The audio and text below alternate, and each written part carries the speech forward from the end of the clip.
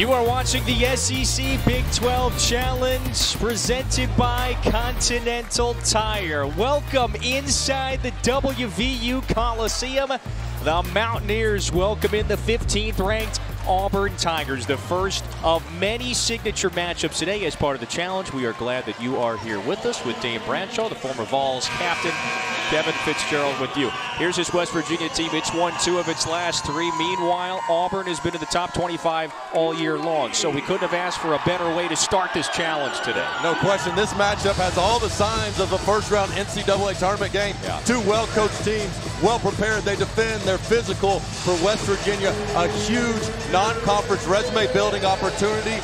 And for Auburn, you look at an opportunity to prove and get one on the road where they will have their toughest road test of the entire season.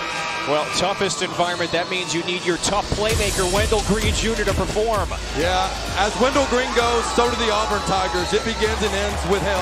They ask him to do so much, be a playmaker defensively, be a distributor, be their best scorer on the perimeter. But more than just the playmaking, they have to have his poise in this game if they're going to win one on the road. And on the other side, when you talk about elite competitors in college basketball, you have to mention Erik Stevenson's name. This kid wakes up ready to ball.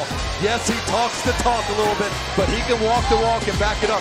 He's on his fourth school and four seasons, but he has found a home here under Bob Huggins and playing the best basketball of his career. You see the double-double he went for on Wednesday. That Texas Tech win. He is familiar with this Auburn team at South Carolina a year ago, faced him a couple of times. They meet again.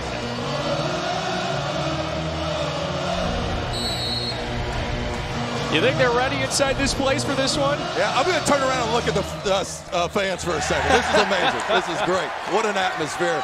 Sold out. Let's go. 14,000 in the house. First of 10 challenge games. We know how elite and stacked the Big 12 has been this year. Up first, though, 15th ranked Auburn against West Virginia. How about Mountaineers in those gray and then Auburn in the orange? Auburn starting off in a little bit of a zone. They'll switch to man-to-man -man if it gets deep. So after the Tre Mitchell miss, Auburn coming back the other way. This is Bruce Pearl's starting five. Wendell Green Jr., he is their leading scorer.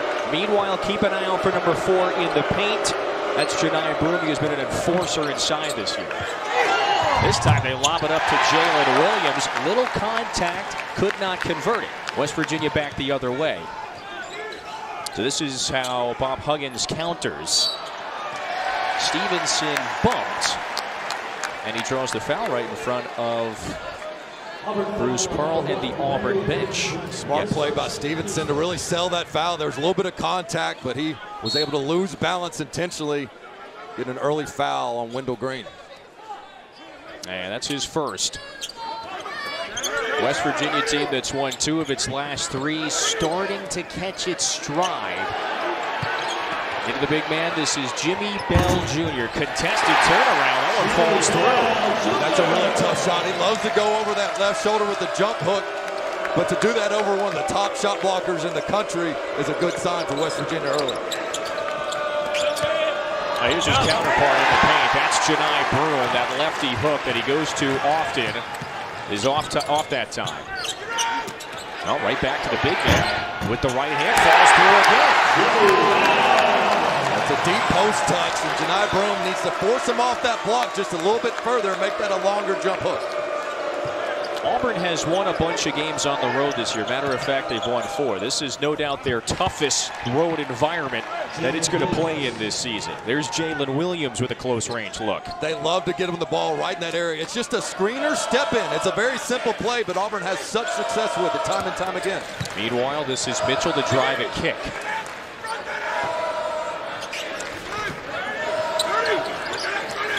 Plenty of paint touches you would expect in this game. Both of these teams, they hammer the paint, get to the free throw line. Like Allen Flanigan draws the foul, headed to the free throw line for a pair. Outstanding job by Flanigan of fronting the post. He got caught on the switch with Bell Jr., but down to discourage the post entry pass. At the line for Auburn, Allen Flanigan to shoot two. And so Flanigan heads to the free throw line. So he's the senior from Little Rock, Arkansas. He's a veteran. He's been back in the starting lineup of late. Matter of fact, this is his fifth straight start. A little bit of a roller coaster career due to some injuries and trying to get back 100% healthy. Wasn't himself last year, but starting to play with played in a long time in an Auburn uniform. Bruce Pearl, there he is, ninth season as the Auburn head coach. So Auburn has only been in this building one other time previously. The last time that happened, Pearl was a 24-year-old assistant at Stanford. It's been a while, back in the 80s. Well, he was also in this building as a commentator in my seat with the headset on. I'm glad he got back into coaching. Left, uh, left some opportunities available for, for guys like myself. Yeah.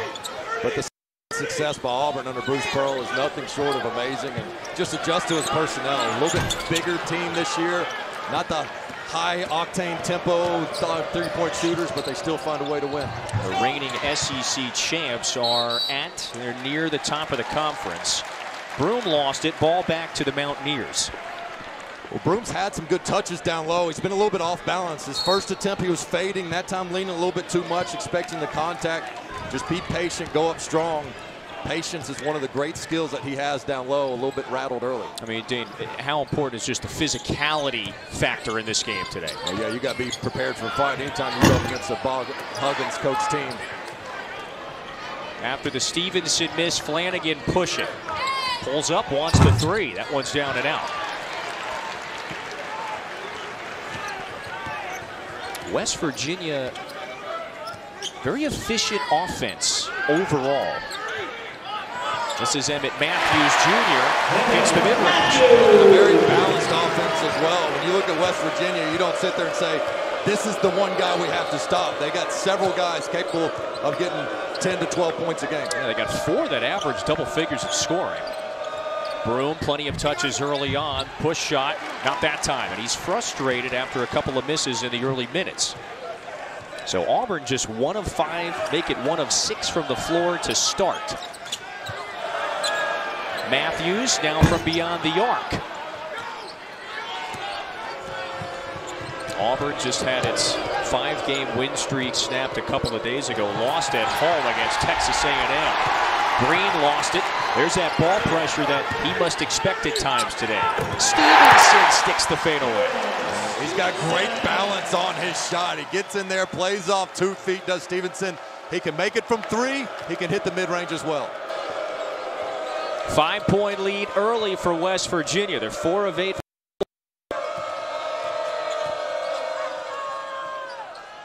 Broome, middle of the paint, back out to Green for three.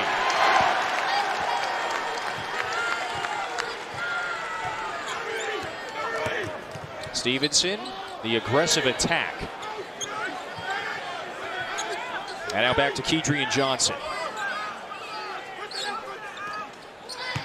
Mitchell, one dribble, goes up with the left, got it.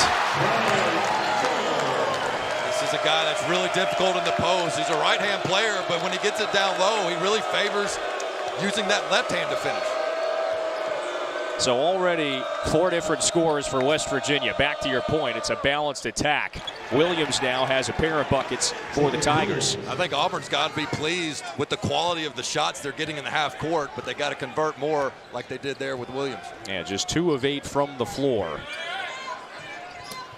Nice cut. This is Johnson to the bucket and the foul. Johnson! So Kedrian Johnson has one more when we return. West Virginia couldn't ask for a better start to begin the challenge.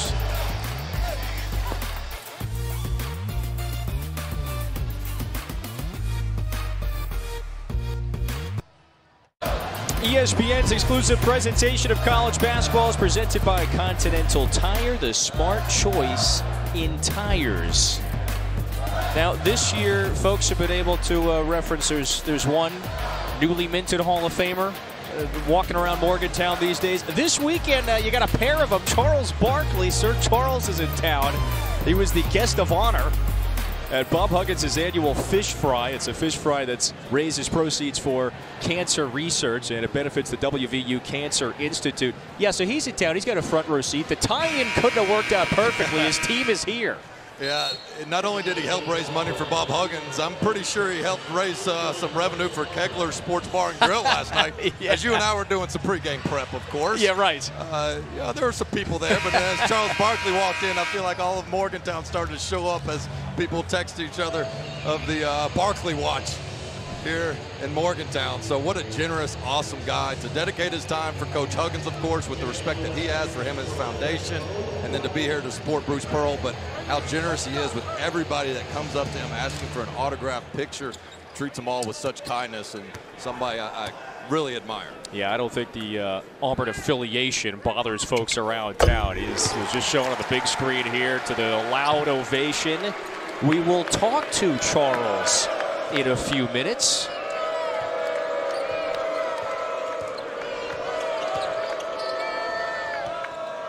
Yeah, we were wondering if, we, wondering if we were going to be able to get a hold of him. We turned last night and say, well, we can just ask him Yeah, if he wants to join right, us. yeah.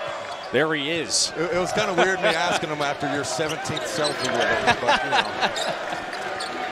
West Virginia by eight, few minutes in. First of 10 challenge games.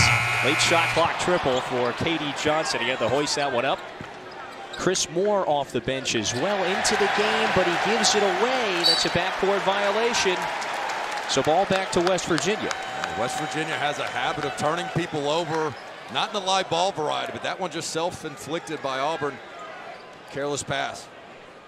Yeah, West Virginia top 50 in the country in terms of how often it turns its opponents over. I mean, that is always a staple of Bob Huggins coach teams.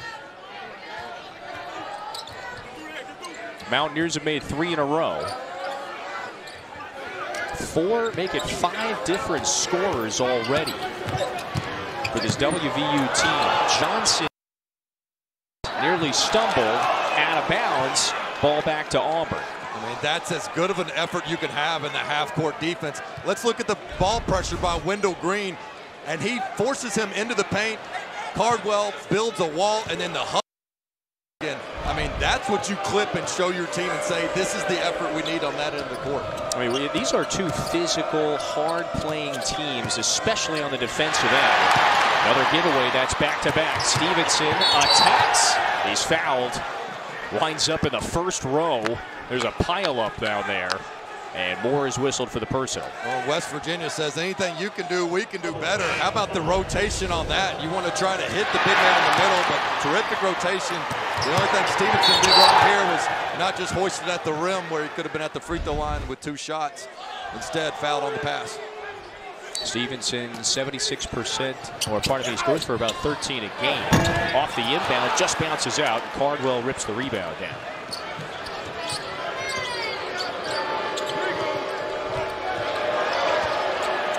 Wendell Green going to be dealing with a lot of length. This is Lior Berman in the corner, buries the three. That hard hedge by West Virginia. Good job by Green hitting the middle. Dylan Cardwell just makes himself available, finds the shooter in the corner where Lior Berman has earned his opportunity, and he has kept it since being inserted into this rotation. Yeah, the senior from Birmingham. He's earned the trust of Bruce Pearl. Johnson bluffs the three. Stevenson fires overhead zone. Book it. Well, and that's one of the issues is Auburn wants to play a little bit of zone, force them from deep, but they don't have big guards. You can shoot over the top. Stevenson takes advantage. Stevenson about 35% from deep this year. Nice lob that time. Wendell Green, the very flashy distributor, hits Cardwell. He just shows you there that he's got a bag that you can't check in or you can't fit in an overhead. You got to check that thing in. Wendell Green in between the legs with the lob. He loves some Kyrie Irving. Yeah, he Showed the, a little bit there. Had the 12 assist game last week against South Carolina. Likes to be the passer. West Virginia by six. Johnson, aggressive attack. Offensive foul. The very emotional Dylan Cardwell. He takes that one. Ball back to the Tigers. All right, he's he's stopping by when we return. We'll talk to the Hall of Famer about his time in Morgantown next.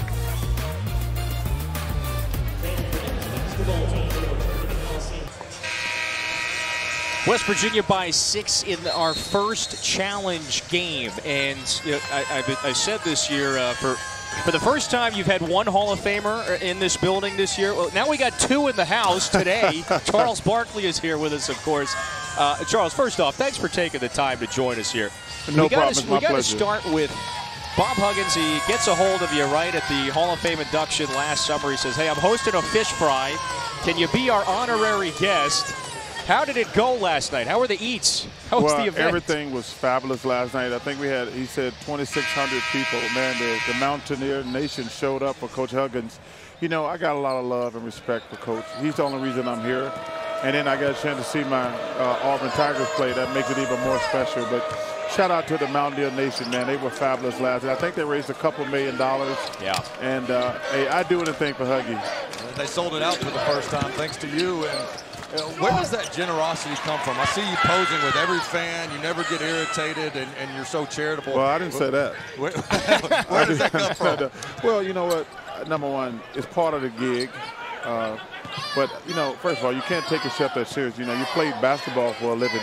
Not like you're a teacher, a fireman, policeman, or somebody who's in an armed service. You know, people who've got a real job. So that, that goes with the territory. You talked about earlier in your career how Moses Malone helped you understand how to receive criticism and take it. What's your advice to these young players today in the social media era where after they get the game, they're going to search your name on Twitter and everything else? Well, first of all, they should stay off social media. I, I'm anti-social media. Yeah. But the first thing, you know, every criticism, just because some clown on the internet call you something, that don't make it true. But there are criticisms. The first thing I learned from Moses and Doc, you have to ask yourself, if it's from the coach, somebody like that, is the criticism fair? That's the first thing. You can't get mad at it because, you know, these kids consider coaching and criticism, they're the same thing. They're not the same thing. Right. So, yeah, we got it. We, I think we got a handful today. Uh, we got our hands full today. Hey. Yeah, thoughts on the Tigers' performance? So this is your first Auburn game you've experienced in person this year. Well, you know, we got to make some shots. We've only made one shot outside the lane. I've said before, it's going to come down to guard play, how successful our season are. And uh, we haven't made but one shot outside the lane. I think Bartram uh, hit the shot that's three in the corner. Uh, I don't like the pace of the game, uh, to be honest with you. I think we got to find a way to speed it up to get easier shots because this team is really good defensively. They're long and athletic. Uh, they're a lot bigger in person uh, than I saw them looking at them on, on, on tape. Uh, man, they're long and athletic. And tell you what, this boy here is a handful. That's Stevenson. He's, he's got a little edge to him. Yeah, he's got some edge, and, uh, and, and, and I tell you, he's a he's a clear and present danger. Uh, I like his swag too. As a player, would you rather hit a big shot in front of your home fans and get them ignited, or a big shot on the road and silence them? Well, you know what? That's a great question. Ain't nothing better. And one. Nope, they called it the other way. Offensive foul. Yeah, that was a close one right there. I, there's nothing better than shutting up the home crowd. Especially, like, you know, these West Virginia fans, they're unbelievable. Not just today, but, you know, from, through history. This has always been a tough place to play Morgantown in football or basketball. So there's nothing better than going on the road to a hostile environment. But you have to play with great poise. You can't have turnovers. You got to rebound the ball. I was talking about that last night. Those are the two most important stats stats when you're on the road, turnovers and rebounding. Yeah, your plus minus isn't very good right now. Well, yeah. Hey, on the road, you you you you, you could the crowd will help you a lot at home, but on the road, it's just the the, you know the five to ten guys who are going to be on who you on the squad who are going the five out there in the bench. You guys, you don't get room for error on the road. That's why you have to play not perfect, but you can't turn the ball over and you can't kill on the board, and you got to shoot the ball well. Yeah. What can you say about the sustained success that Bruce Pearl's been able to have at Auburn, not traditionally known as a basketball school? Well, I love our coach. I know we I know we're never going to get out coached. He's one of the best in-game coaches I've ever been around. Same thing with Coach Huggins, but he's one of the best in-game coaches. This is a big shot right here. KD Johnson, another Yeah. look from deep. Yeah. Alice, some work on the offensive glass, though. Well, you, you, if, if you ain't making shots, you better get some offensive rebounds. Plenty of opportunities for Yes, it. but you know we got a great two great coaches here today. But I love our coach, and we're never going to get out coached. Well, usually the man with the, the, the headset on the Auburn radio broadcast is your old coach, Sonny Smith, from way back in the day. What what led you to Auburn? Uh, they sucked, uh, to be honest with you. I want because I tell all these kids, if you want an education, you get an education anywhere. But the number one thing you look at when you go into a school is playing time. And, I, and it, it, it turned out to be the best decision of my life because I got to play right away. Right. If like I love a lot of these kids, you know, especially with this stupid ass transfer portal we got going on in America's day. You know, wait, you knew the quarterback or the guy was good. Why would you go to school and you know there's a great player already there?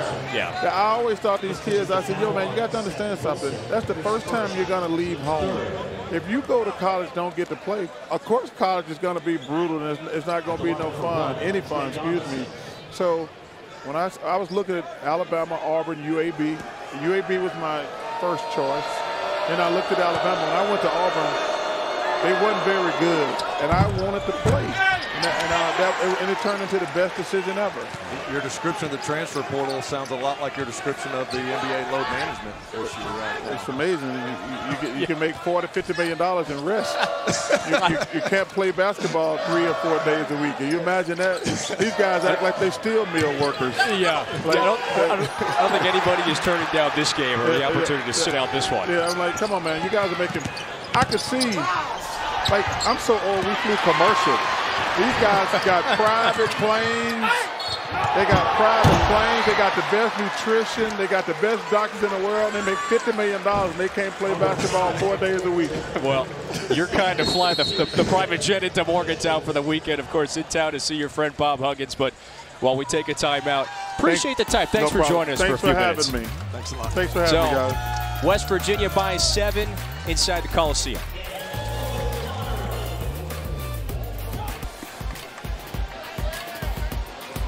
Huge day of games. This is the 10th and final SEC Big 12 Challenge. Our signature matchups coming up later today. Top 10 battle in Knoxville, Texas and Tennessee, and then Kansas has to head to Lexington on a three-game losing skid.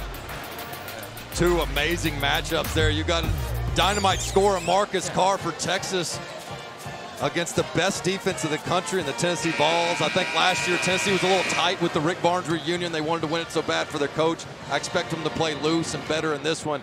And then two weeks ago, Kansas, Kentucky. It was, hey, Kansas is looking like the defending national champ uh, and they could possibly repeat. Kentucky has hit rock bottom.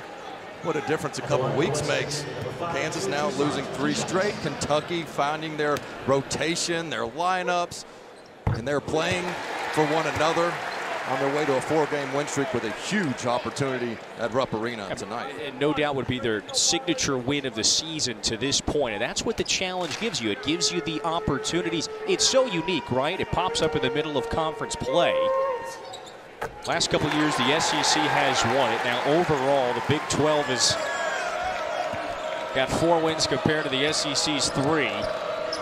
So is uh, the SEC going to retain it? Look, we know the gauntlet that the Big 12 is this year and every year. Johnson going to the free throw line. Yeah, when this Big 12 SEC challenge started, it was much more of an opportunity for the SEC to try to prove that they could hold par with the Big 12. And now, in recent years, it's been much more of an equal opportunity for both clubs as the SEC has really rebuilt their brand of basketball with a ton of NCAA tournament teams and resume opportunities for both conferences now. Stevenson checks back in for West Virginia. He's got a game high eight. Yeah, they got to figure out a way to keep him in check. We talked about the balance of this West Virginia team. And their offense is a little better than their defense, which is unusual for Bob Huggins teams, but we're starting to see just how balanced they are because yep. for those that hadn't seen Auburn play before, they hang their hat on the defensive end. This is very unexpected for West Virginia to be shooting the way they are in this one early. Yeah, you can see the difference. The Mountaineers 10 of 17 from the floor. Get a couple of outside shots from the mid-range at the rim. Offensive rebound down to Stevenson. So he has been impressive to start, and he's got 10. Where he came from on that offensive rebound was just all effort and grit, and then he shows you how he can finish with his left above the smaller defender as well. Cold from deep. Stevenson again. No, that one long. Bell, offensive board He's headed to the free throw line. Well, you look at Stevenson and how he crashes the offensive glass. He's going to come from the right side of your screen and just out smaller, out, out muscle the smaller opponent. One dribble says, You're not going to bring a double? Mouse in the house. Let me show you my left. Listen, we, we just talked to Charles Barkley. He's in the house tonight. I mean, this West Virginia team rebounded like the man on the glass. I tell you. So it's the senior Bell at the line from Saginaw, Michigan. It's only 56% at the stripe, however, converts the first. Now, West Virginia, a thriving start to this one. I think if you're Coach Pearl and the Auburn Tigers, you see that West Virginia is only taking five threes out of their 20 field goal attempts. I think that zone was more in place to try to make West Virginia settle a little bit more from deep. They have not been successful in doing that so far.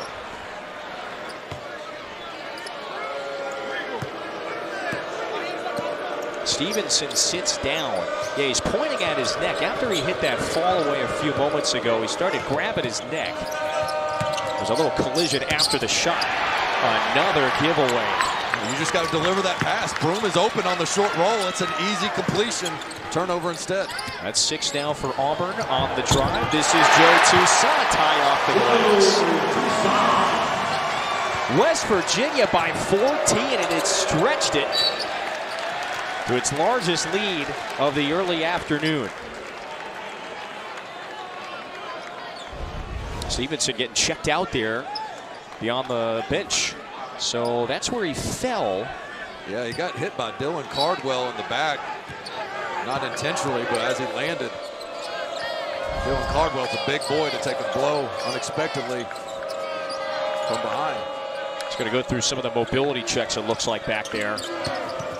Flanigan an aggressive drive, and with the left hand, he converts. I love how he really shielded off the defender and threw his shoulder into him to create space and finish at the rim. The difficulty for Auburn has been on this end. West Virginia, a sterling 57% shooting from the field. Plus, they're perfect at the line. Zep Jasper, uh, he's the noted on-ball defender. He ties up Kobe Johnson. That's Auburn basketball. Terrific job by Jasper of not playing soft in the zone. You still have your man-to-man -man principles and can pressure the ball. Well done there by 12. Well, a full stat line for Stevenson early on, so that is a very quick break on the bench. 10 points, four boards, three assists. Going to work on Toussaint. That one-legged fadeaway is long.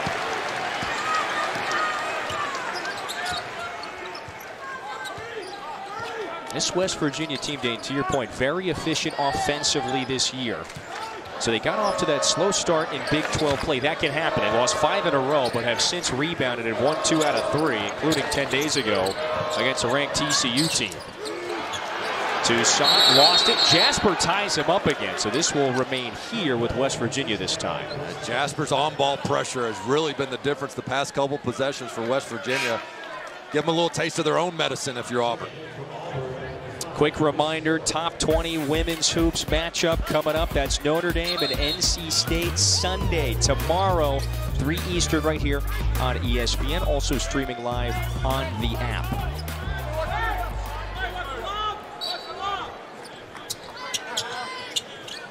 Five seconds to shoot for West Virginia. How much time?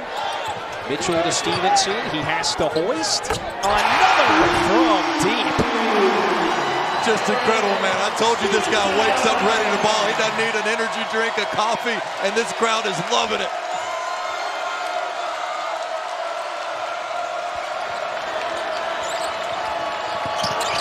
Flanigan steps into the mid-range, down and out. Auburn having trouble keeping up with Stevenson, feeling it. It's the roller. This is Bell. Toussaint open for three. Cardwell soars in for the board. Boy, West Virginia's shot selection has been pretty good. They've hit three triples. Flanigan draws the whistle on the attack. That'll be the second on Mitchell. How about Erik Stevenson? Fourth school in four seasons said, it doesn't matter where I'm at. That brim is looking big to me. This kid is a stone cold baller.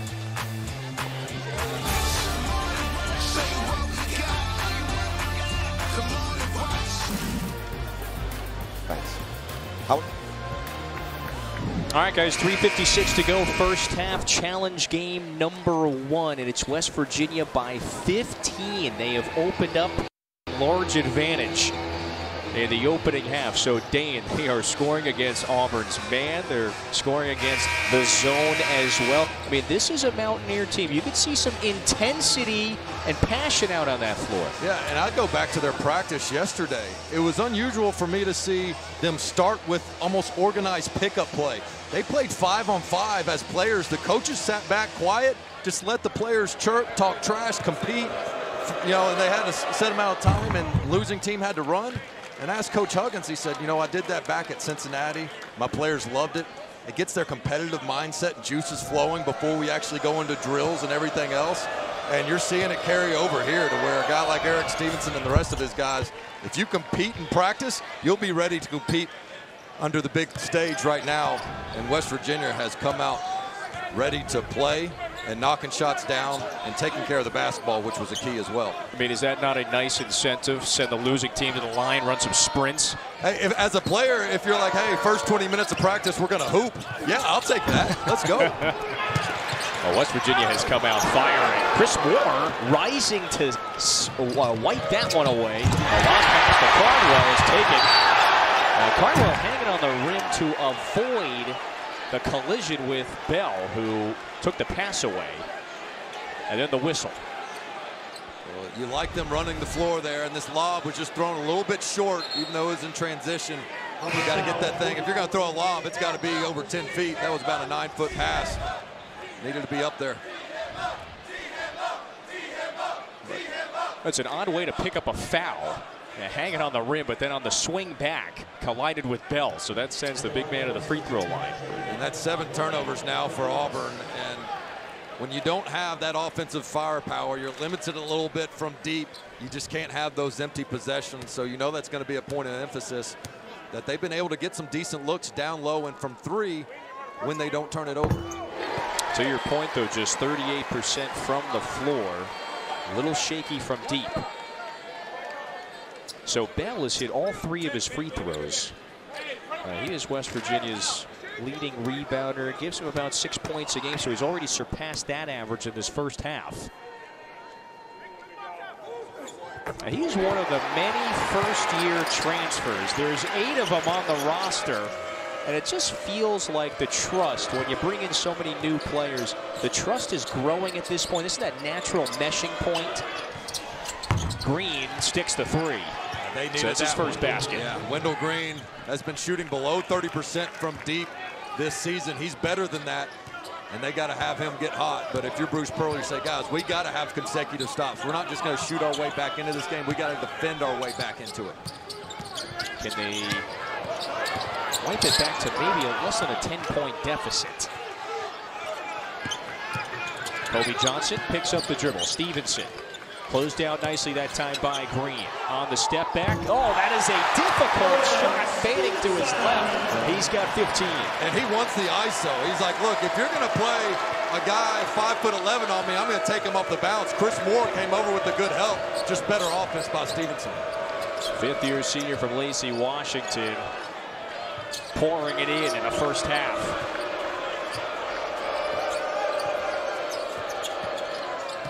Pressure up top once again. Cardwell fires back out to Green. Launches. And Moore saves it. So a new 20. Auburn quick to attack the basket. Flanigan got it. And a foul. And a really good job by Dylan Cardwell, the big man, just being a facilitator. Being at that high post and then off of the loose ball situation. Cardwell knows his role, and he's thinking shooter right away. And that's a tough call against West Virginia. Felt like he was straight up. Flanigan finishes through contact nonetheless. We got 14,000 in the building. Most of them disagree. So Auburn once down by as many as 15 earlier. If you're a player out there, you're almost looking at the score going, you know what, can we just get it back to single digits maybe before the half? Two Two tournament caliber teams battling to start the day. Stevenson fouled on the three. he is a threat today. He is, and that time they give him the ball screen, and Cardwell comes up with a strong contest, but it's got to be straight up and down. If you go from point A to point B and don't give that shooter somewhere to land or get any contact, that's an easy call for the officials. That's a third foul on Dylan Cardwell, by the way. So, Dane, you mentioned it. Uh, last year at South Carolina, his season ended against this Auburn team. He's uh, he's basically hit all the times, uh, just about time zone.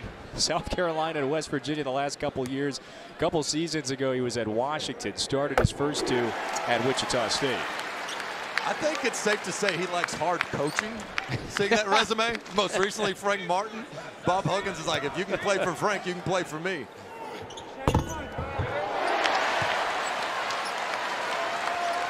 West Virginia has sustained a double-digit lead for much of this first half. 18 points for Stevenson in the first.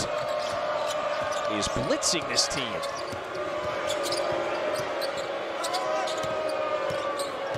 Green has been bothered at the top of the key much of this first half. Very confident playmaker, just one basket. He's given it away a couple of times. Four to shoot. This is Jasper. Off balance runner. No. On the floor, there's James Okonkwo. Up to Stevenson, coming up on a minute to play in the first. Jasper making Flanigan got a piece of that. The hustle to go after it, however, it's West Virginia basketball. Chaotic sequence, the Mountaineers keep it. Uh, I think the effort's been there by Auburn. I mean, the difference in this game is really one player. It's Stevenson for West Virginia. He's got 18, and they've got to find an answer at halftime, but it's a critical one-minute stretch here. Try to see if you can't cut in this lead a little bit, just establish a few stops here, get back-to-back -back stops, maybe a bucket, go into just with a little bit of momentum into the half instead of having your head down. Stevenson with 18, feeling it, but turns it over. This is Green around Toussaint to the rack. The follow that time by Flanigan. He flushes. And what a timely steal by Wendell Green. He averages over two a game. Very opportunistic, like a cornerback safety. He will pick you off and a great job by Flanigan Trey on the play. Big reason why that Auburn defense has been rugged at times, very stout. They got some pesky guards that will turn you over. Timeout, Bob Huggins. 41.7 to go in the first. It's a 12-point game. 41.7 to go first half inside W. Coliseum, West Virginia, Dane, has had a double-digit lead for much of this first half. They got out to that quick start just slowly started to build its advantage, led by as many as 15, while Erik Stevenson is red hot.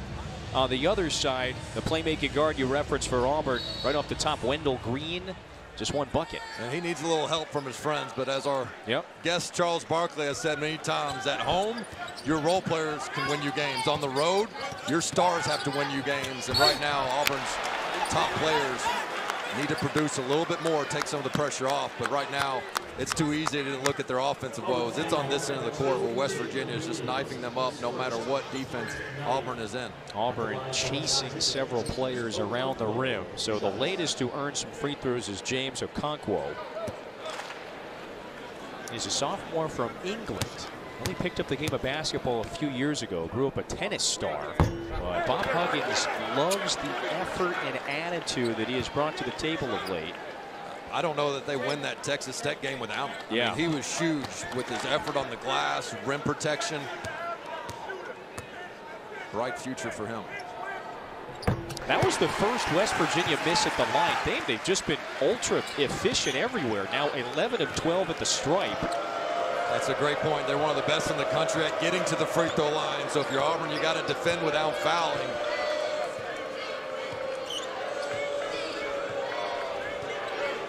Toughest road environment of the year for Auburn. Hands down. Toussaint this time bothers Green. Diving, sacrificing the body. Up ahead with eight seconds. Got it! Back to the line.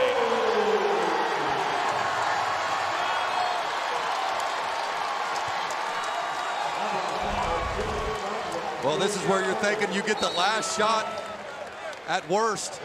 And instead, your worst nightmare for Auburn. Live ball turnover, transition bucket, and one. Big time play by West Virginia with those active hands defensively and running the court.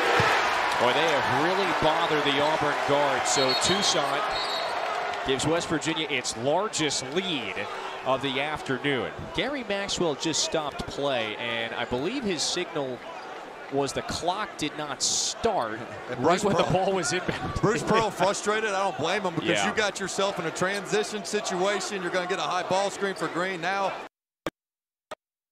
press up 94 feet. Tough break there for Auburn. You know, and I was glancing up. Maybe a second had gone by before the clock started. Well, anywho, here we go again. Take two, two seconds. Green lost it. And West Virginia, boy, poured it in in that first half, including that man, Erik Stevenson. Overwhelming performance. 18 points in half number one. West Virginia by 16. Now time for the Jeep halftime show. Let's go to Kevin Connors in the studio. Kevin, West Virginia. Welcome back to the SEC Big 12 Challenge presented by Continental Tire. Right off of the Monongahela River, we are back inside WVU Coliseum, West Virginia, with a statement first half, 16 point lead. He is Dane Bradshaw, Kevin Fitzgerald with you. I mean, offensively, it felt like West Virginia had its way often in that first. They overwhelmed Auburn at times. Yeah, they really did, and I think a lot of it was just making some of those contested shots over the smaller guards, the same way we saw last game. Texas A&M able to do take advantage of that, and then defensively, West Virginia able to really disrupt Auburn with some of those live ball turnovers. The Tigers must take care of the basketball. With all that said, there is one guy and one guy only you must try to shut down this second half, and that's Erik Stevenson, who was just electric in that first half. Somebody try to shut even contested jumpers. Yeah, that was a, a brilliant one. He hit three triples, three from two point range. He was perfect at the free throw line, couple of rebounds as well.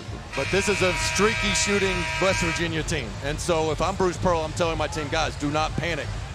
Keep contesting shots. See if they will shoot themselves out of it. Don't turn the ball over. Chip away at this lead because this is not an Auburn team like previous Bruce Pearl teams that are capable of those huge runs with a lot of shooters all spread out. So it's going to take time, be more of a methodical comeback as opposed to some of those 10 to 0 run type runs you've seen in the past from Bruce Pearl teams.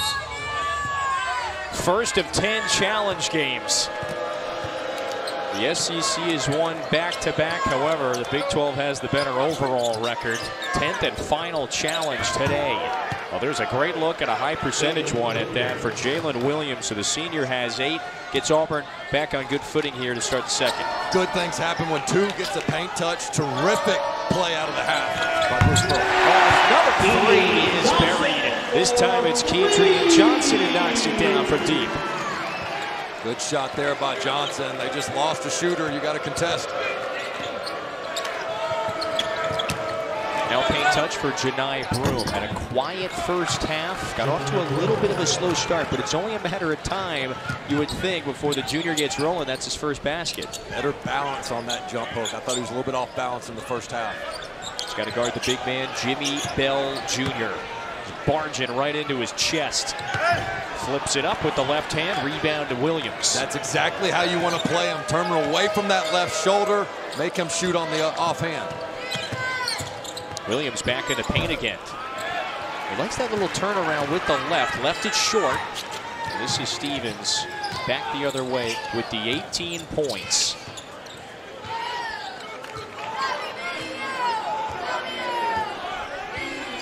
Only the fifth time these two teams have met one another. The last time was 16 years ago. They've split the first four meetings. Tre Mitchell, a baseline jumper. That's down and out.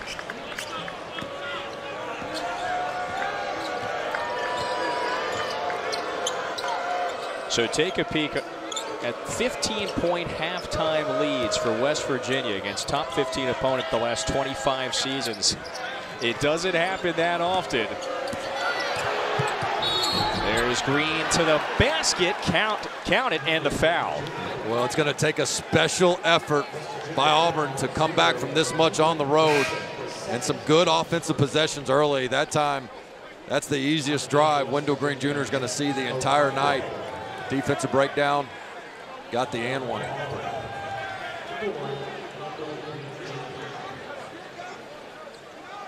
He has not had many looks at or around the rim. But this is what he does really well. He gets to the free throw line, draws a whistle, draws the whistle from time to time. So these are his first free throws. They ask so need his leadership. They need him to distribute the ball, score the ball, be a pest on the defensive end.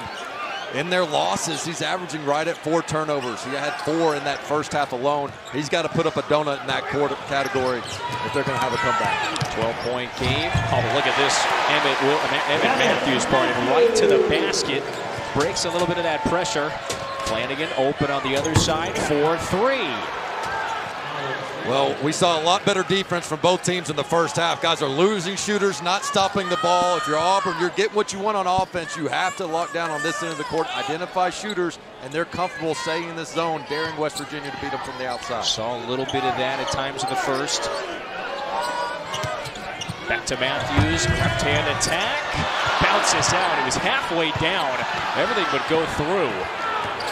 Auburn on the move. They can get it back to single digits with a basket here. Flanigan tied up. It's a jump ball. Possession arrow gives it back to the Mountaineers. That was Stevenson who tied him up. Stevenson, there, there's the example of just that vocal leadership that he brings to the court.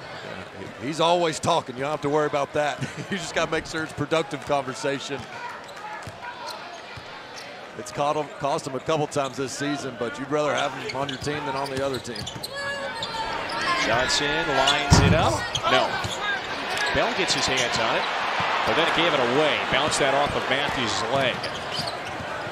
Auburn four or five from the field to start. So they couldn't have asked for a better beginning. Okonkwo wipes that attempt away, but then out of bounds. Auburn retains it after the giveaway.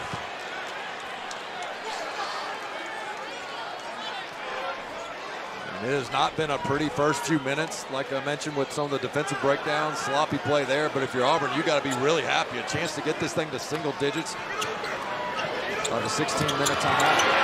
And a turnover. That's a quick sleight of hand from Jimmy Bell. Great active hands there. The back door was open. 16-point halftime lead for West Virginia. Still maintains an 11-point advantage. Jasper guarding Stevenson. Matthews, high archer. Auburn coming back the other way. If you're West Virginia, you can't take the bait all the time. Turn one down. Okay, back to a single-digit ball game here. Broome with his second in half number two. Terrific rim run. Great job by Auburn, but if you're West Virginia, turn down a three or two. Try to attack the middle. A little lull in the building.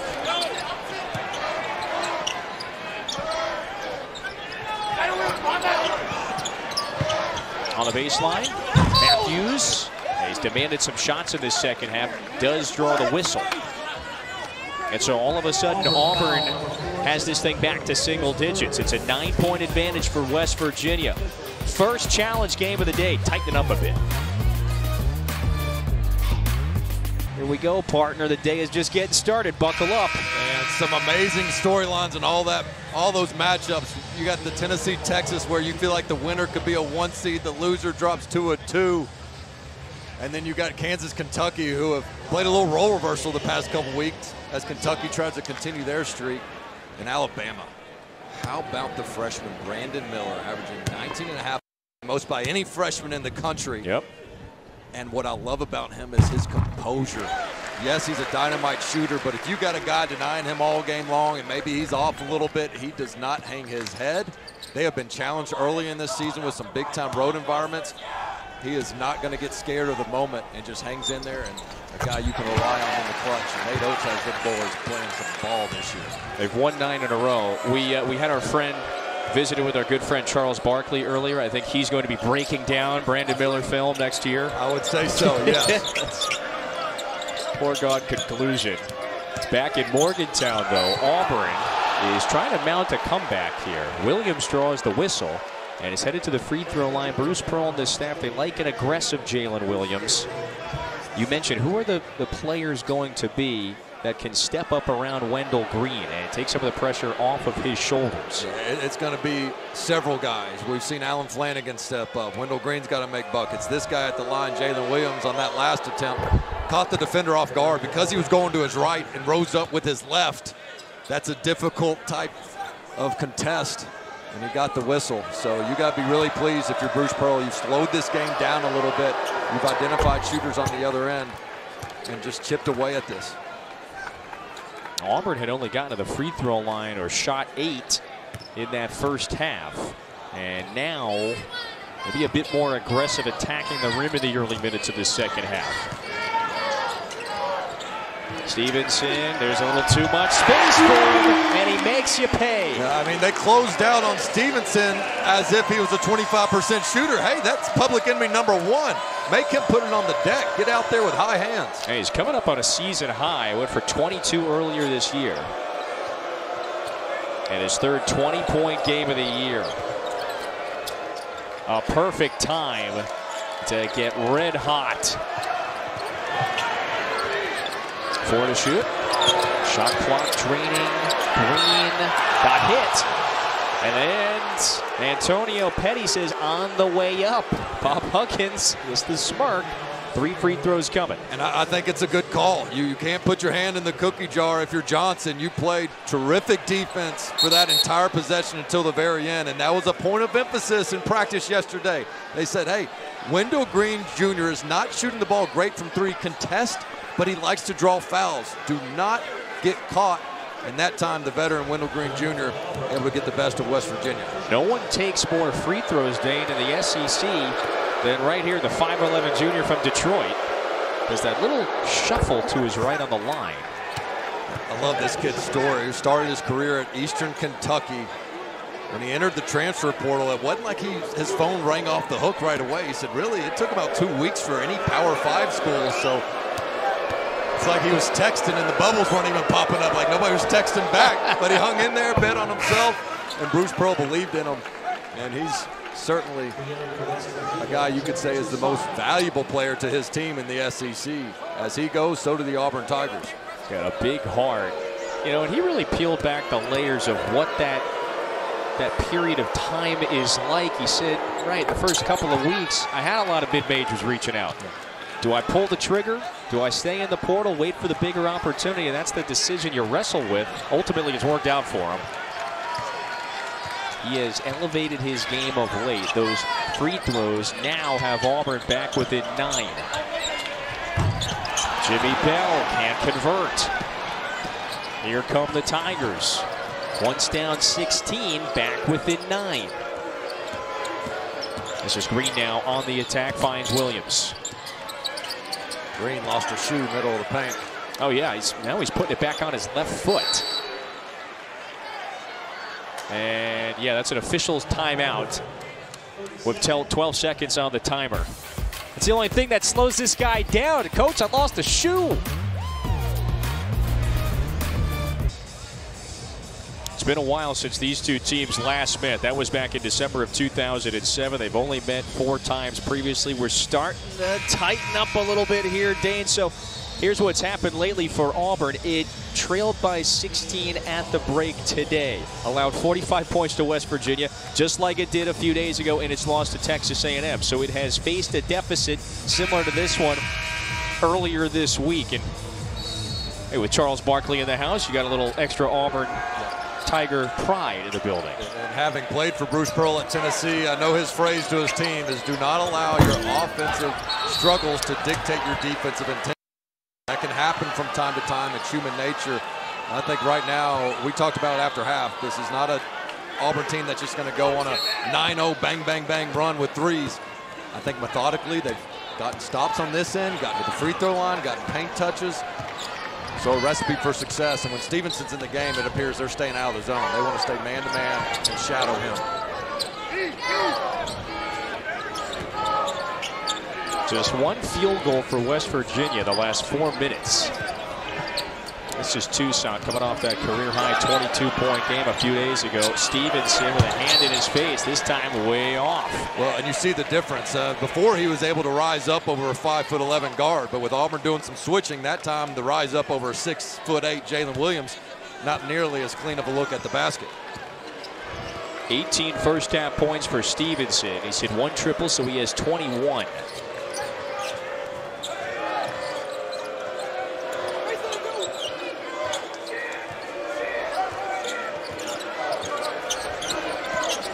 Green drives right, high off the glass, tap back in by Broome. And sometimes that's their best offense is a missed shot, create that offensive rebounding opportunity with the length that you have down low and a guy like Broome.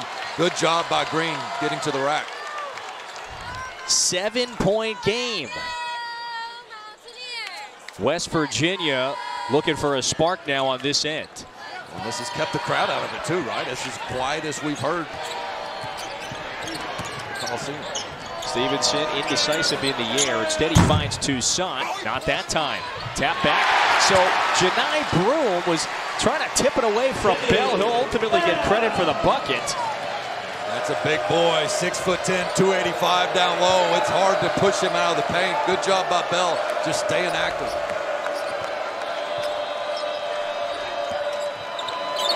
Williams rises over the big man. Got it. And that's their favorite play in this game. Just simple screener, step in. They do a flex cut on the baseline, and then step, make yourself available for the ball. Well, Williams has benefited from that today. He's got the 12 points, 5 of 8 from the floor.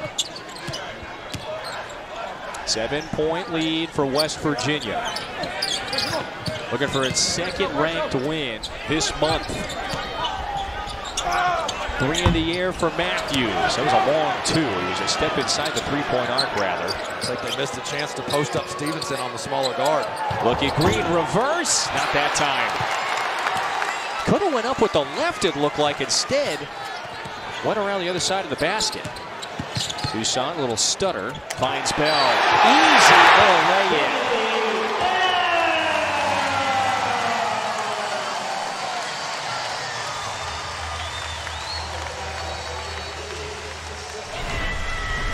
Penetration kills, and how about this little hezzy? Whoop!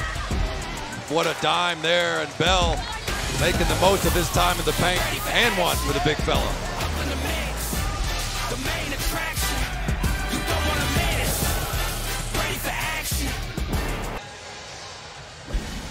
Jaylin Williams for Auburn now has 12 points. Here's how Auburn's getting a lot of those paint touches. This is a little flex cut. Keep an eye on 22. He's going to cut and then just step in if you're two in orange. And that's an easy shot for him. He's practiced it a ton. For West Virginia, they're switching that, and that's how Auburn's taking advantage. So if you're Bob Huggins and the Mountaineers, you have to say, if you're going to switch, fine, but switch with a purpose mm. and anticipate Auburn to step in right after that flex cut action. And Williams has benefited from that. He's got 12 points. And, and what did Bruce Pearl say to us yesterday? Something like just that simple little play. It's exactly yeah. what Bruce said. Let's just keep it simple at times today. And it's something they benefited from. Yeah, that flex offense that he refers to as cutters is something he's been doing really his whole career since Dr. Tom Davis. He had it Southern Indiana, Wisconsin, Milwaukee, Tennessee.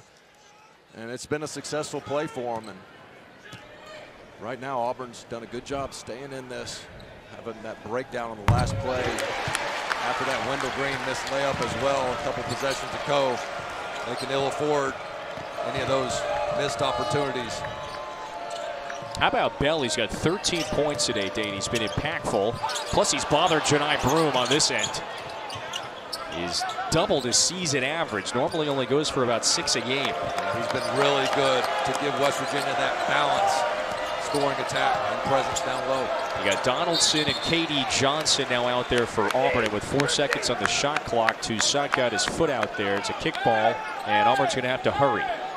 KD Johnson's a guy that Auburn fans you know, have understood as kind of a momentum changing type player. He can do some things that take away from your team, but he can make some big time plays. See if Zero and Orange can't give him some of those energy hustle type plays as he can be the heartbeat for this team at times. Johnson rises for three, right on cue, and a big one. His first field goal of the afternoon. Yeah, he's got to get his confidence going and his swagger back for this Auburn team.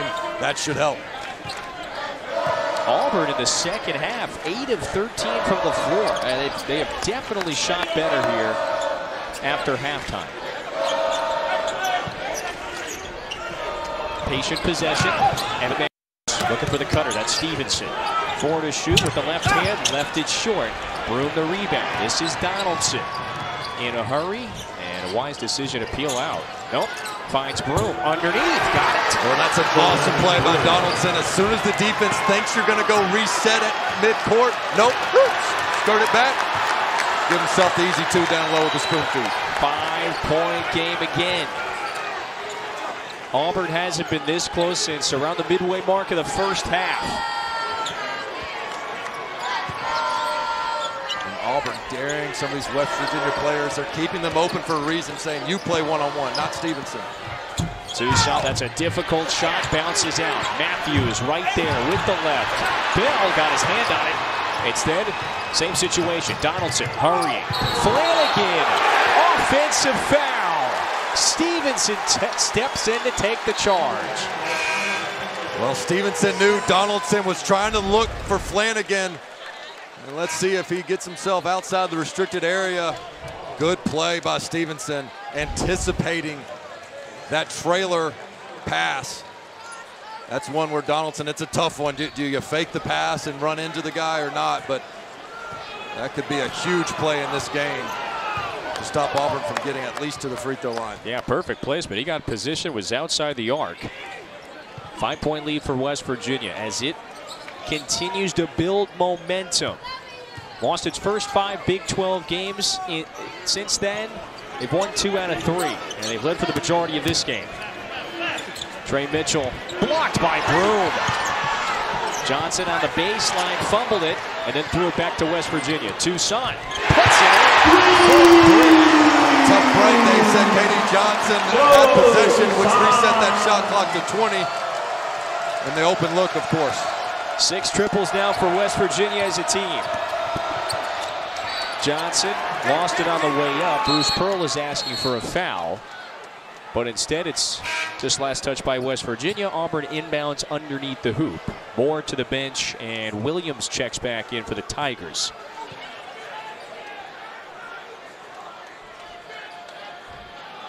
Folks around Morgantown know how difficult it is to play in this building. Sold out crowd. They've been loud at times. Auburn has been able to slice away at the 16 point halftime deficit. It's an eight point game.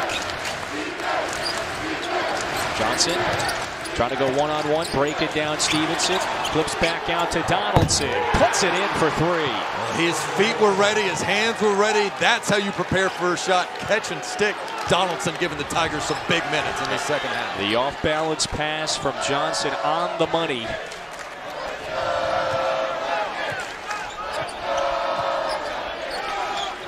Stevenson, that's way You have to find him in the zone, and both guys got caught in the area instead of on a man. If the shooter comes up, you have to locate him. Donaldson on the pull-up. Berman trying to tie up West Virginia. Now Stevenson was very quick to react. Uh, Berman ties up Toussaint, and possession arrow favors Auburn. Or rather, yeah, it's, a, it's a foul. foul. Yeah, it's a foul on Berman. Pardon me. That looked like a, a jump ball situation from my view as well. Good hustle by Berman. Call goes the other way. A little bit of zone now, right? If you're Auburn, you've fought so hard to keep this thing within striking distance, you can't get another double-digit deficit as time is not on your side. Must get a stop here. Less than eight to go, second half. First of our 10 challenge games. He's going to get off on good footing. Johnson with the steal. And the lay-in. Just what the doctor ordered for Auburn. This is a guy that's really been struggling, been a key player for them last season early on, but now he's got his confidence rising. Auburn 65% from the field in this second half. Stevenson covered. He finds Mitchell. Left-hand dribble into Berman. That was knocked away, jarred out by Donaldson. So it's West Virginia ball when we come back to Morgantown. 16-point deficit whittled down to six. WVU with the lead.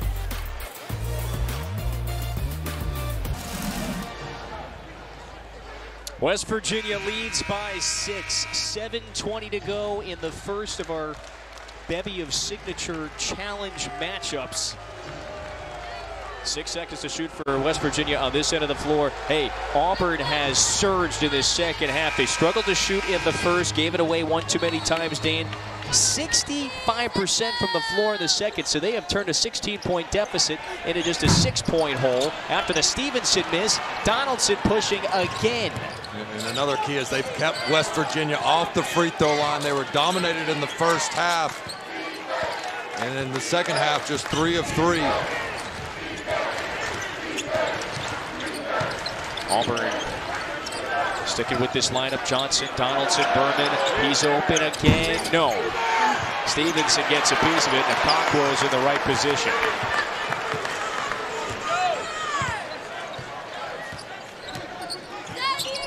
West Virginia, no doubt a tournament caliber team. Got off to that tough start in Big 12 play. They've won two of three since. Looking to take down another ranked team. Would be their second in 10 days. Toussaint fires the three. Way off that time. West Virginia a little sluggish from deep in the second half.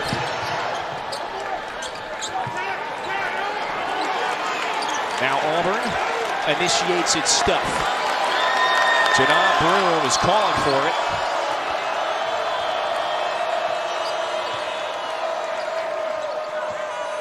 Nice pass. Yeah, there it is. He finally gets the touch he wanted.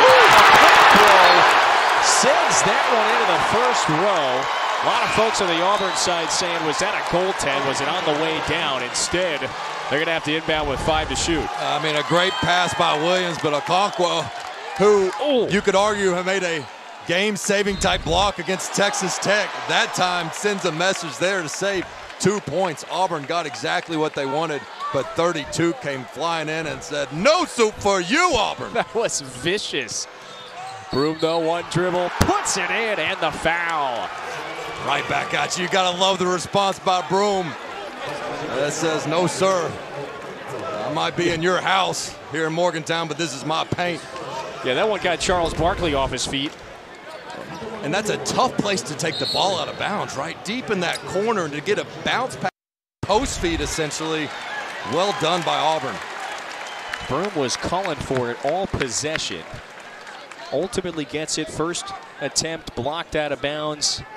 And you see Auburn with the 18 second half points in the paint. Broome's free throw would get it back to a three-point game.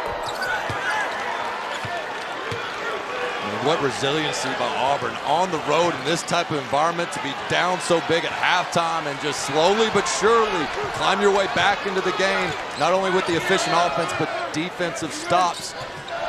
Still got to keep an eye on Stevenson. Don't let him get off if you're Auburn. West Virginia led by as many as 17 in the first half. Here we go, one possession game. I just feel like they could post Stevenson on green. He, he likes the mid-range, can rise over the top. Now they got to improvise. Two seconds, knocked out, and with 0.8 seconds on the timer, West Virginia has to catch and shoot or throw something at the rim.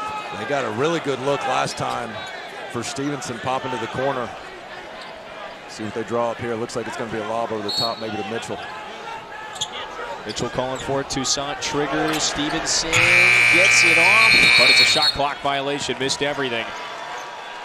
And the pressure beginning to bother West Virginia. It has the last few minutes of this second.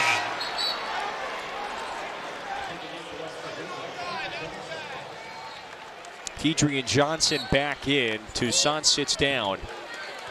These two coaches have such great respect for one another. Bruce Pearl still recalls the time when he was at Southern Indiana, non-division one school as the head man there. Bob Huggins invited him to a Cincinnati practice way back in the day. Look at Broome, another rim run. Yes! It's just good big on big action when your four man can take you off the bounce and dribble hand up to your five. You versatility of the bigs and Auburn feeling like they can steal this one on the road. One point game. Broome into double figures with 11 now.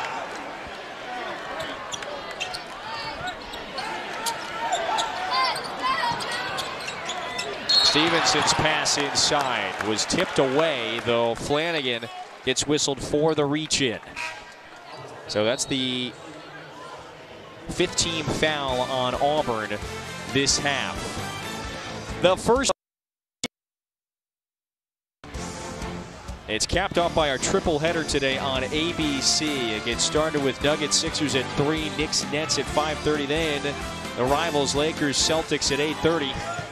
Also streaming live on the app. There's Bell, swirls it in. Coach Huggins has talked about his concern of his team not being a very good passing team. That time a terrific interior bounce pass and a solid finish. That snaps Auburn's 7-0 run. Heavyweight battle. Broome turns. Rebound down to Okonkwo. Good job by Bell pushing that post entry pass out about 10 feet away from the basket as opposed to that comfort zone, 5 to 8.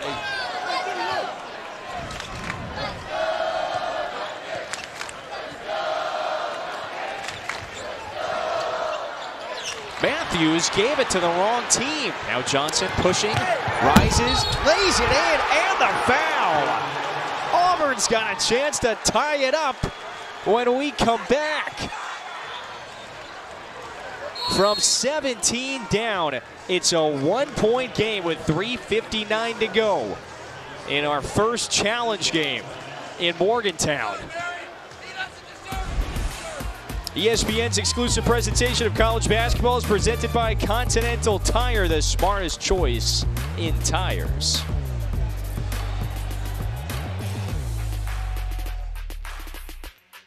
How has Auburn erased a 16-point halftime deficit? Feed it to the big man, Dave. Well, how about Johni Broome with all 13 of his points coming in the second half? He's posted up, he's rebounded, he's run the court. He has been outstanding for the Auburn Tigers. You see the emotion there. The Morehead State transfer, I'm not sure there's been a better impact newcomer in the SEC than this guy. If you see some guard skills to his game, we saw him do a dribble handoff with a big and take it off the bounce. This kid was 5 foot 11 as a freshman in high school. He played guard until he had a huge growth spurt year after year. Now at 6 foot 10, he's using those guard skills down low to own the paint. Two years ago when he was at Morehead State, his team faced West Virginia in the first round of the NCAA tournament. Near double-double, they lost. Well, he's got a chance maybe to land a knockout punch today with the Auburn Tigers. After trailing by as many as 17, Auburn in the midst of a 9-2 run, and after the missed free throw, they got a chance to extend it. No, Flanigan stepped out. And so ball back to West Virginia. Well, if you're West Virginia, you just got to play smarter basketball on this end of the court. Don't settle. And Coach Huggins talked to us about it. I mean, we saw back-to-back possessions, a great pass, and then a careless, inexplicable pass. So they've got to be sharp, no live ball turnovers. One-point game. Stevenson, he's got an opening, fires, hits it. And a beautiful set call. That was a baseline drive, but he was never driving to the basket. It was a planned reverse pivot to the shooter coming off the screen. 27 for Stevenson.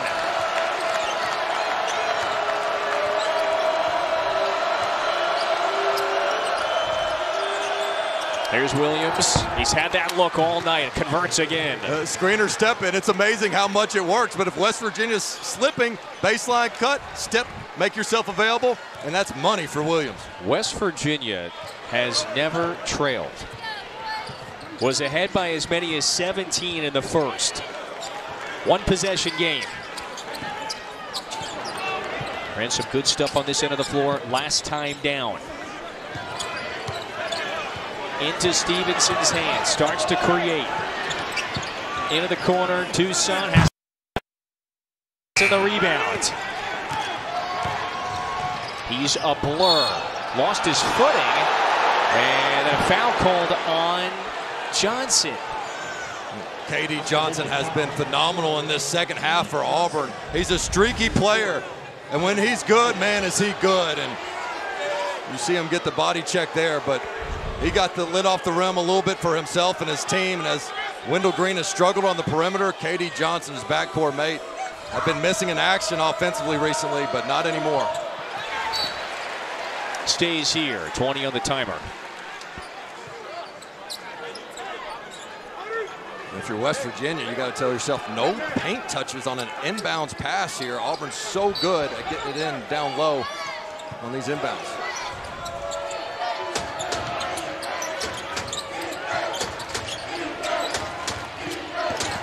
Williams, aggressive attack, got Okonkwo in the air. It rolls out, but he earns two free throws. Okonkwo bit on the head fake. And these free throws, Dane, could tie things up. He's such a smart player, really a point forward for them. He had seven assists in his last game, a high IQ guy. You see the patience there, being able to put it on the deck, get the defender in there, get himself to the stripe. Williams, one of three Tigers in double figures, misses the front end. One last reminder, we've got the exhilarating slate of games, our 10th annual SEC Big 12 Challenge is the last one. Take a look at a couple of the signature matchups. Top 10 battle in Knoxville, Kansas, Kentucky at 8. We set the bar high with this one, hadn't we? yeah. Well, this place has come back alive, as you would expect. Final minutes inside WVU Coliseum, and Bob Huggins calls the timeout with 2.12 to go. One point game in Morgantown, 30 second timeout. Virginia by one. It was a big possession earlier, Dan. It's a baseline drive, but they're not going to score on the drive. It's all about a reverse pivot, get that back screen. That's how they got Stevenson a look where he has not had many clean ones here in the second half and they're going to need him and others to step up because this game is huge for the West Virginia Mountaineers, who are right there on the bubble with a chance for a quad one victory. Right now, if you look at Lunardi's bracketology, last four in, look, we got a whole bunch of games remaining, and so you can go either way. But West Virginia, you're right, as one of those what we call quad one win opportunities. All that means is this is a really important game. Uh, it's huge for West Virginia and for Auburn. Bruce Pearl said he's got probably the toughest 12 game stretch on his schedule that he's ever had as a coach. Stevenson just won't be denied. Six triples and a 30 piece.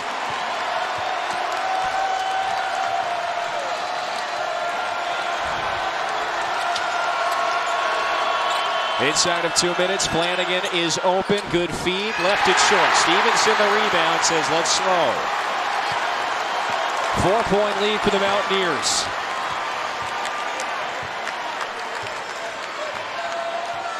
Timely buckets all afternoon for the fifth year senior from Lacey, Washington. Last year of college hoops here in Morgantown, making his impact felt.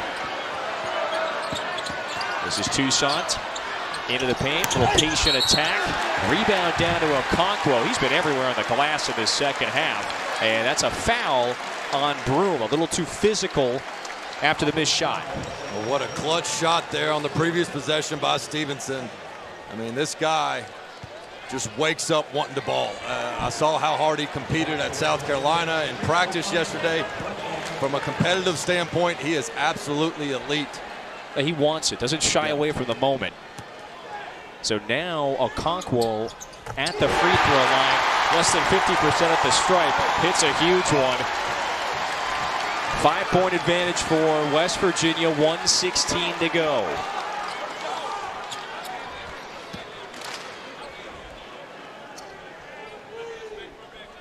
They saw the 16-point halftime lead disappear. Auburn tied it up a few minutes ago, but they haven't lost the lead yet. Two possession lead for the Mountaineers.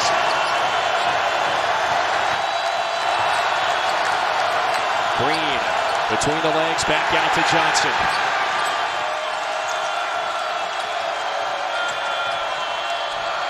Flings it up.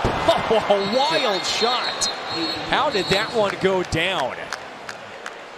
And then a whistle with 58 seconds remaining. Now, the clock might have uh, run down after the made basket. You got to stop it right at a minute after a make uh, in the second half. That might be what Gary Maxwell is going to the monitor to take a peek at. But anywho, KD Johnson with a wild lay-in to get it back to a four-point game. Uh, he takes some wild shots and he makes some wild ones. That time better be lucky than good. Got the contact off the glass. And right now, Bruce Pearl, who his reputation as a coach, doesn't press as much as he used to, but nobody has more pressure sets in the full court than this guy, and West Virginia is going to have to take care of that basketball and move it extremely well and handle this pressure that you know is coming from Auburn for 94 feet.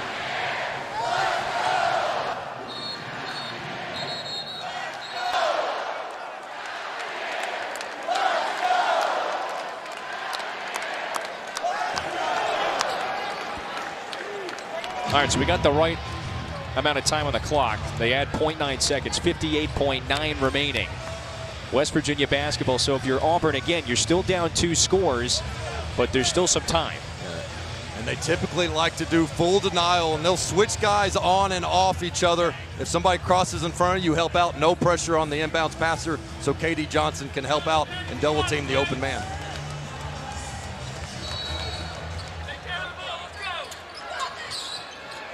Johnson looking for two Toussaint. Bumped by Flanigan. That's just, it's easier said than done. I mean, when you're Bob Huggins, you tell Toussaint, hey, I need you to go get open, and you're going to have two guys all over you. And just a terrific job getting himself open and a nice inbounds pass. Toussaint, the senior from the Bronx. He was a starter at Iowa. He transfers after last season, looking for a, a larger offensive role. He finds a right place here in Morgantown. And this isn't his most prolific shooting game, but he has been a very reliable ball handler in this one. Hits the front end of the one on uh, one and one. If you're Auburn, you start thinking about what are your quick hitter plays. A lot of things they like to do is throw it into the post and do a little crackback screen for Green to get it for a three-pointer on the wing.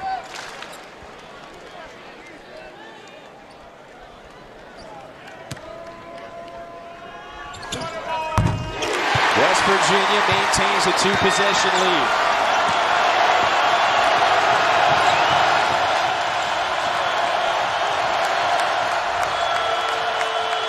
Green rises, a big one, way off. Johnson tracks down the offensive rebound. Puts it up. That one was off the side of the backboard and out of bounds. Now, it looked like the initial call was Stevenson touched it, therefore Auburn basketball, but our official on the baseline signals we're going to take a peek at this one. I'm with you. I thought it was good defense and officials and off, off of Auburn there. Let's see if he got a piece of it. Looks like he got a piece of the forearm more. I think this one's going back to West Virginia.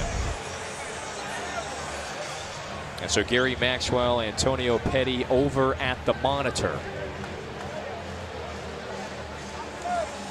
So right now, you're either head coach, you're drawing up for Auburn a, an out of bounds play, but also a pressure set defensively, not knowing which way this call is going to go. But I'm with you. I think that's going to go to the Mountaineers.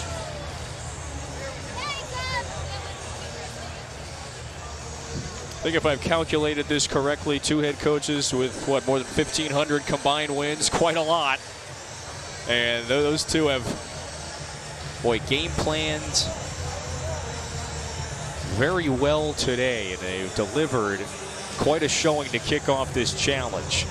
But it's West Virginia that maintains the lead. It's a six-point cushion, and you would think that this one might get reversed, and ball is going to go back to West Virginia.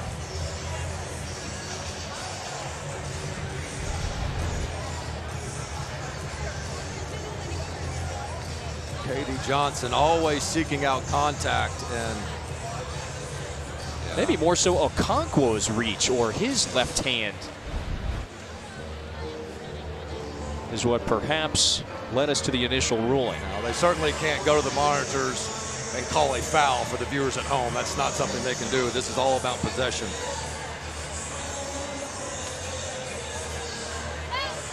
Now Crawford comes over to spend some time taking a peek.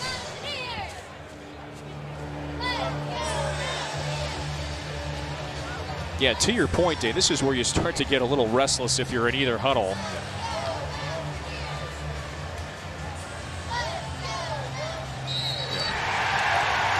Indeed, West Virginia basketball.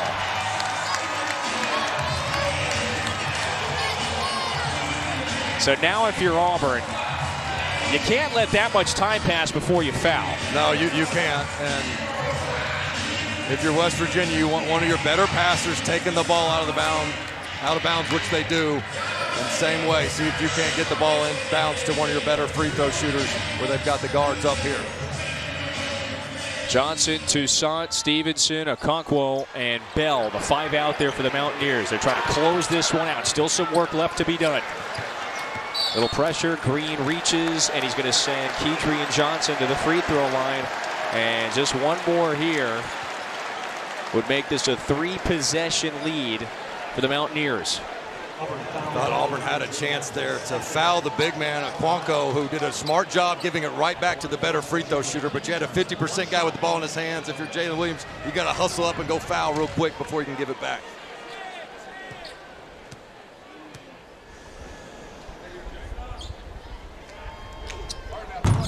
Miss the front end. Auburn back the other way. They need a big one. Williams open for three. Got it. Three-point game, 31.8. Auburn takes it away momentarily. Johnson on the ground, calls the timeout, and he's awarded the timeout. Charles Barkley fist pumping after Auburn hits a three and then takes it away. Hey, listen, Bruce Pearl told his team, do what Charles Barkley does. Find a way to win. Pre-game. Charles left us a message. It's from CB. He says, just win. And that's what we came here to do. We came here to represent the SEC, right? It's supposed to just be more, right? All right, road wins are hard, right? We need something special tonight to represent Auburn and represent the SEC. Simple, succinct message, just win. Yeah, and for West Virginia fans, you're sitting there scratching your head saying, we're our own worst enemy. In so many close games this season, they've turned the ball over. They've missed free throws. Heck, they've even gotten technical fouls. Right now, you've got to put all that behind you, and it's, it's really a fine line. You can't be playing not to lose. Inside that huddle, you can't be saying, here we go again. You've got to have a short memory, go on to the next play, get a stop, and get a quad one victory to help improve your resume in a big time opportunity here. Boy, the KD Johnson steal though, boy, he's he's had a pretty impactful yeah. second half, hasn't he? He has, and, and Jaylin Williams not necessarily known for his three-point shooting, although he's very capable. Just found that open spot in transition off the missed free throw. Clutch play by Auburn here in this second half. Dane, they've got a chance to tie it up with 26.3 to go. So you're thinking 30 seconds ago, West Virginia on the other end of the floor with free throws. Misses the front end. The three, the steal. Here we go. Williams finds Flanigan into Green's hands. Williams in the air. The three is up. Broome got a piece. Okonkwo got his hand on it. And then Johnson secures the rebound. He's going to the line. They got a clean look, did Jaylin Williams. Erik Stevenson was so concerned about fouling. He really didn't contest on that shot. Just did not go in.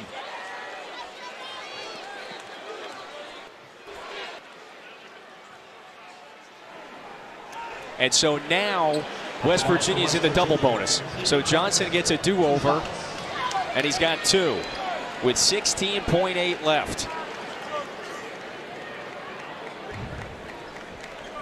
Bruce Pearl does have one timeout remaining. West Virginia with two. But luckily for the Mountaineers, Johnson, one of the best free throw shooters in the league, 83% at the stripe. And, all right, he gets one more. Tighten up a little bit. It's a little mental here. But this is a West Virginia program that prides themselves on being mentally tough. Here's an opportunity to show it.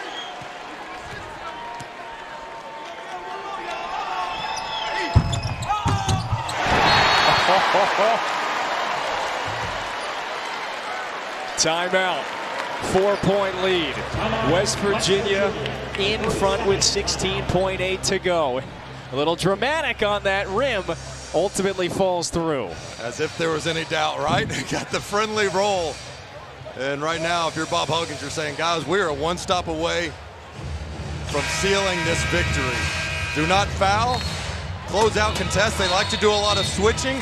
And with some of the ball screen motion and, and off ball screens that Auburn's going to do, I think you switch everything. You don't want to give them a free path to the basket for an easy two and let them get in their press. It's not a prevent type defense. You want to play your man-to-man principles, switch everything, contest shots.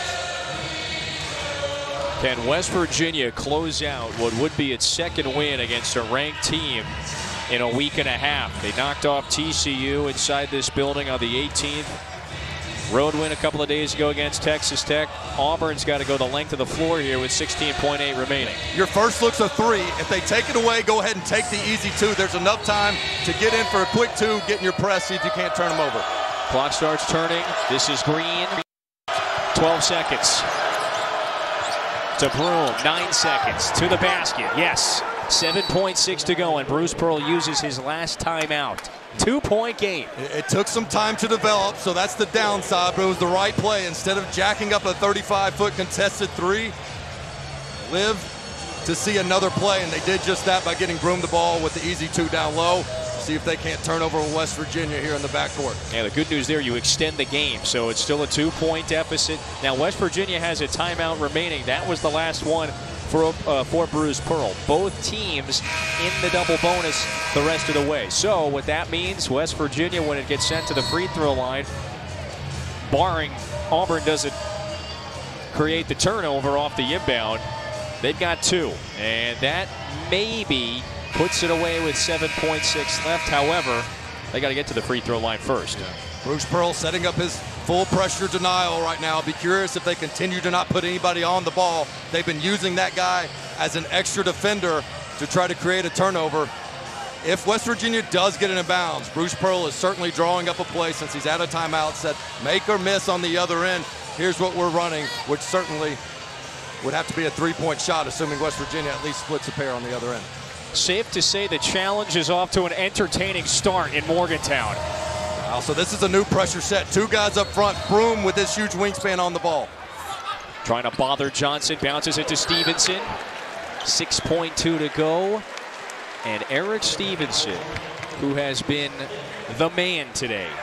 He's got 30. Has a chance to maybe put this one away with two. Yeah, pretty fitting for Stevenson at the line to ice this game.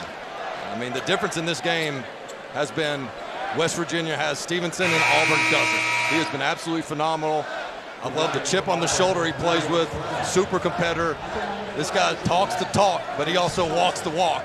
And I know he's walking up to that line with a ton of confidence. Six triples today for Stevenson.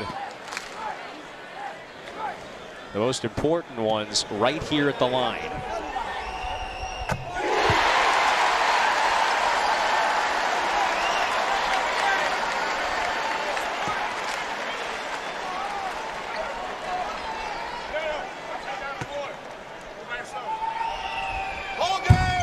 Bounces out, six seconds.